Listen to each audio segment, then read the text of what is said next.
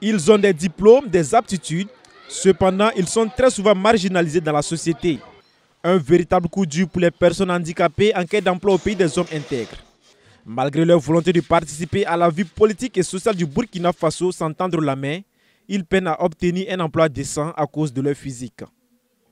L'emploi des personnes handicapées euh, au Burkina, c'est vraiment euh, une difficulté parce que quand vous déposez vos dossiers, eh bien, vos dossiers, euh, on les reçoit au même titre que les autres. Et c'est quand on vous appelle maintenant pour venir faire l'entretien, eh dès qu'on vous découvre que vous êtes une personne handicapée, eh bien, sans moment le problème se pose parce que euh, ils vous diront pas que vous êtes une personne handicapée. Ils vous diront que, OK, euh, celui qui devait vous recevoir n'est pas là. Est-ce que vous n'allez pas rentrer? Et puis, bon, on va vous rappeler. Et ça reste comme ça. Donc c'est pour dire que c'est vraiment euh, une difficulté euh, pour nous les personnes handicapées. En 2010, les personnes en situation de handicap ont accueilli avec enthousiasme l'adoption du décret portant protection et promotion des droits des personnes handicapées. Cette loi dispose qu'un quota de 10% dans la fonction publique et dans les établissements publics de l'État sont réservés aux personnes en situation de handicap lors des recrutements, selon les qualifications conformément au texte en vigueur. Mais quitte de sa mise en œuvre? Chez les personnes handicapées en quête d'emploi, c'est la déception. Nous sommes dessus parce qu'il y a un quota de 10% qui est réservé aux personnes handicapées. Et jusqu'à aujourd'hui, eh bien, ce quota n'a jamais vu le jour. Le Niger, euh, là-bas, c'est 5%, mais c'est appliqué à la lettre. La Côte d'Ivoire, il n'y a même pas une loi, il n'y a même pas un quota qui donne euh, droit aux personnes handicapées. Mais chaque année, eh bien, il y a plus de, 200 euh, personnes handicapées qu'on recrute. C'est pour dire que c'est une volonté politique. Nous avons 10%.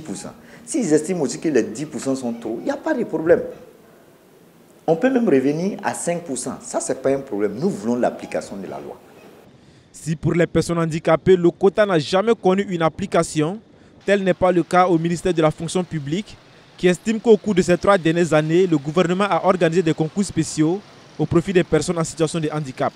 Selon ces statistiques, ce sont 34 personnes handicapées qui ont été admises à ce concours en 2017, 24 en 2018 et 31 personnes en 2019. Malgré tout cela, les personnes handicapées disent ne pas trouver satisfait. Mais ce que nous déplorons peut-être au niveau de ce concours, c'est que ce concours ne prend pas tous les ministères en compte. Voilà, c'est ciblé. Et lorsque moi, personne handicapée, je suis euh, admis à un concours, vous remarquez que la majeure partie des cas, on m'affecte dans un domaine, on m'affecte dans une structure de personnes en situation de handicap. En plus du fait qu'ils ne prennent pas en compte tous les ministères, ce concours est mal organisé selon l'association des élèves et étudiants handicapés. Euh, le concours spécial est mal organisé. D'abord, nous avons demandé, nous avons demandé à ce que euh, on nous donne deux ou trois jours pour composer ces concours-là. Nous avons demandé à ce qu'on augmente le nombre. Et tout ce que je viens de citer là, aucun n'a été respecté. Voilà. On nous donne un seul jour pour composer. On nous donne un seul jour pour composer. Nous avons demandé aussi qu'on décentralise le concours.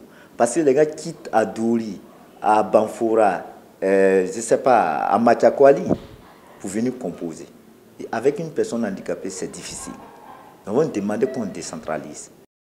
Toujours dans la loi 012 portant protection et promotion des droits des personnes handicapées, il est stipulé aussi que toute construction d'infrastructures publiques ou privées devant recevoir du public doit prévoir l'accessibilité aux personnes handicapées. Pour les édifices, une rampe d'accès munie de mains courantes et dont la panne n'excède pas 5% est imposée. Ce qui n'est pas le cas selon les personnes handicapées qui demandent au gouvernement de tracer un chemin clair pour relancer le ascenseur social.